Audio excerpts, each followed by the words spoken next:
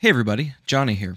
In this video, we're going to take a look at one way to save yourself from trouble if you've created a node group that can get out of hand too easily. One case in point is this edge lattice node that I've recently created. It creates a three-dimensional grid of points and edges connecting them. However, if you're not careful, the amount of vertices that this can create can skyrocket really quick. Here, I've only got it set to 10 on a side, and I'm already at 1000 vertices. Of course, that's 10 cubed.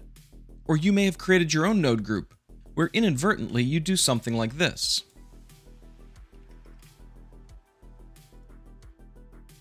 And you hope that your autosave happened recently enough that you haven't lost too much work.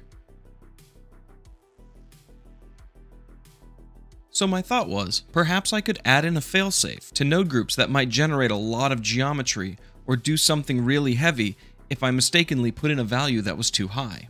It's a relatively simple idea, and it goes something like this.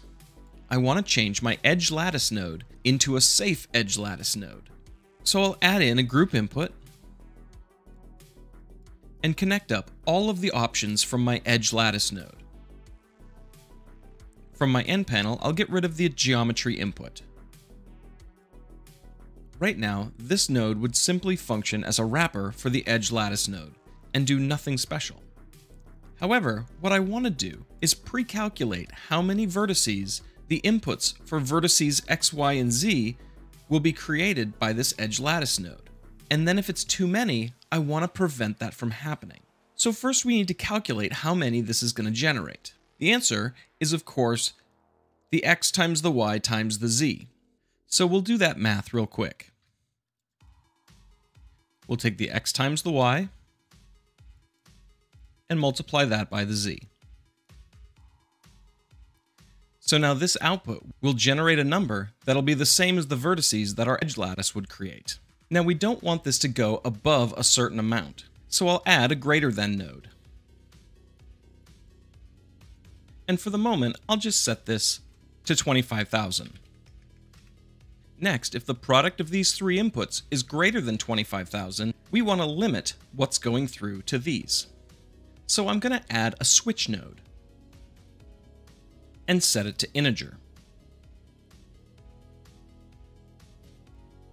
So if the product of all three inputs is greater than 25,000, we just want to return something smaller, let's say 10, for the z vertices. If the total product is less than 25,000, we'll just use whatever was put in the z. I'll do the same for both the x and the y.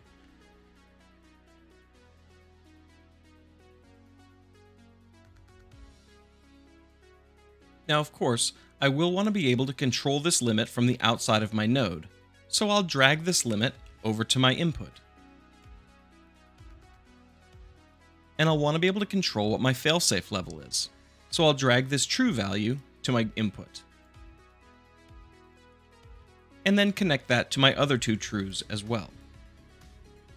Change this input name to limit, and change this value to failsafe.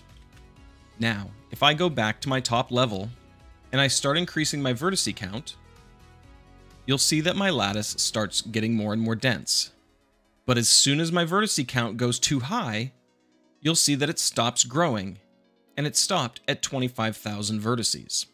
If I still think I have enough computing power to handle more than that, of course I could increase my limit.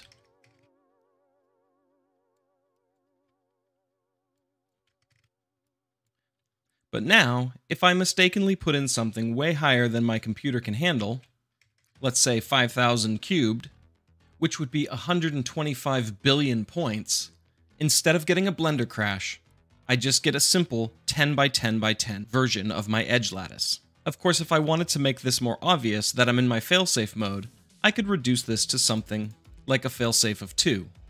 So now as I increase my vertice count, it becomes very obvious that I've gone past that level. The more you play with node groups, the bigger chance you're going to have of creating a node group that can crash Blender, just because of the sheer amount of geometry you can create relatively quickly. So putting a few minutes into adding a failsafe into your node group might save you some heartache later. Anyhow, this was just a passing idea and I thought I'd share it with you. I hope it inspires you to make something safe. And until next time, I'll catch you later.